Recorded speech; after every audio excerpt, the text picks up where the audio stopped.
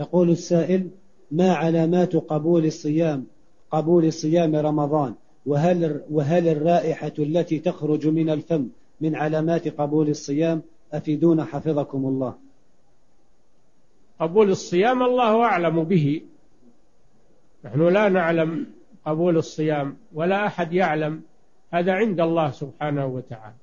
ولكن على الإنسان أنه يخلص عمله لله ويتقن عبادته وأما القبول فهو عند الله سبحانه وتعالى. نعم. والرائحة التي تخرج من فم الصائم هي الخلوف وهي أطيب عند الله من ريح المسك لأن سببها الصيام فهي أثر من آثار الطاعة.